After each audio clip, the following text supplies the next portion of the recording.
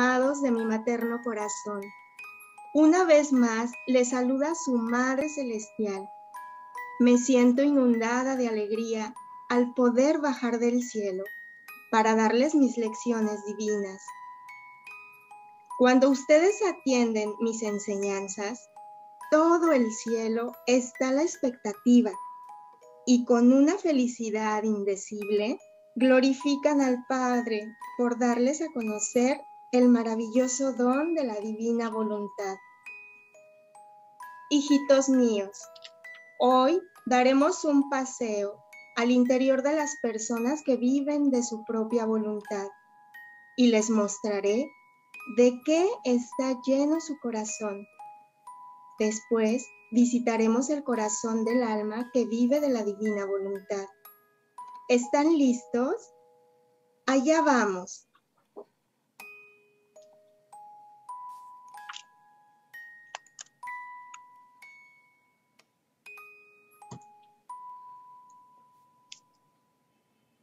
Entremos a este corazón.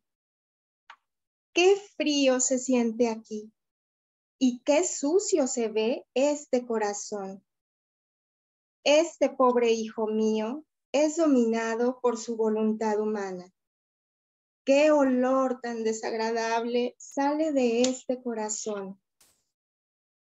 Yo sufro mucho cuando voy a los corazones con la esperanza de que las almas tengan a mi Jesús como vida, ofreciéndole su corazón como el pesebre de Belén. Pero, oh, qué tristeza. Al igual que aquella noche fría, nadie quiere dar posada a mi pequeño niño. Y lo que encuentro en los corazones es soberbia, egoísmo, maledicencia, impureza, impaciencia, violencia, flojera,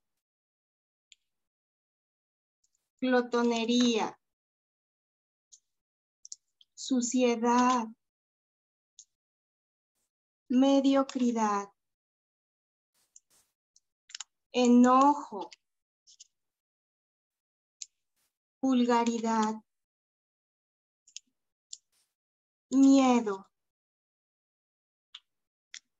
envidia, entre otros más, como el materialismo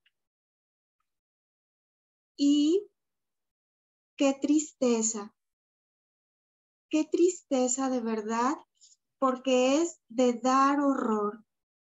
Cómo sufre mi inmaculado corazón. Así están todos los corazones que son dominados por su propia voluntad humana. Y llenos de tantas tinieblas, no hay espacio para que habite la luz. Ahora les mostraré cómo había diseñado Dios el corazón de mis hijitos.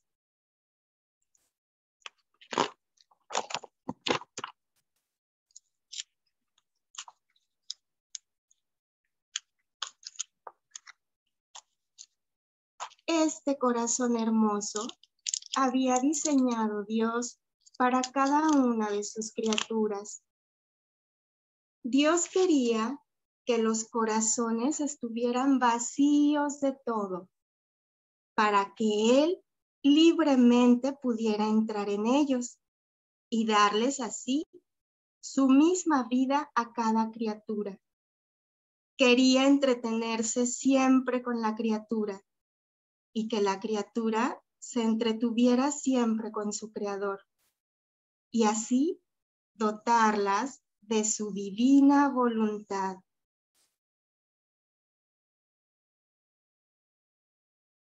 Y entonces Dios les daría todas las riquezas, toda la felicidad divina, tal como hizo conmigo. Pero el hombre rechazó el proyecto que Dios tenía para él y a cambio prefirió vivir de su propia voluntad, ensombrecidos, entristecidos con un corazón humano que solo sabe traer males y sufrimientos. Ahora vamos a transportarnos al corazón del alma que vive de la divina voluntad. ¿Cuántas armonías celestiales hay aquí? Se respira un olor de cielo. Este corazón contiene la santidad de santidades, la santidad divina, la de mi Hijo Jesús. Si ustedes pueden ver este corazón, está vacío de todo. Está desapegado de las cosas de la tierra. Y en cambio, todos sus tesoros y posesiones son del cielo.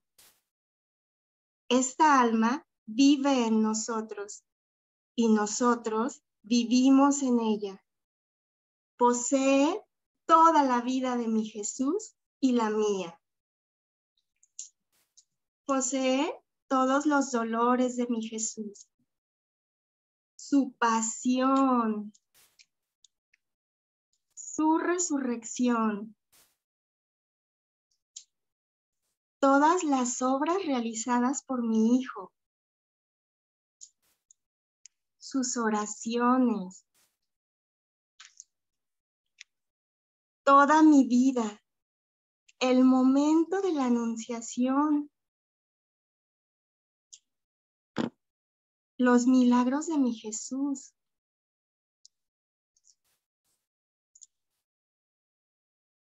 Toda nuestra vida la contiene esta alma que vive de divina voluntad. Late con el mismo corazón de mi Jesús. Posee el amor de Dios y su misma santidad.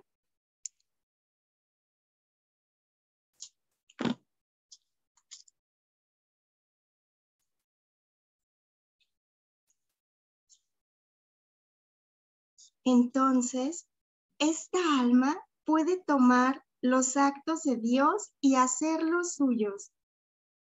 ¿Ven entonces la enorme diferencia?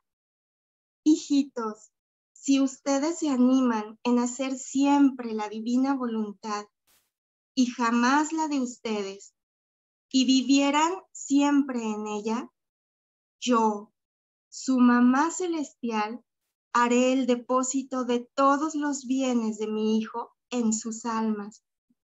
Oh, qué alegría sentirán sus corazoncitos. Tendrán una vida divina a su disposición. Y yo, su mamá celestial, me pondré en guardia para que esta vida crezca en ustedes y forme en ustedes el maravilloso reino de la divina voluntad. Fiat siempre.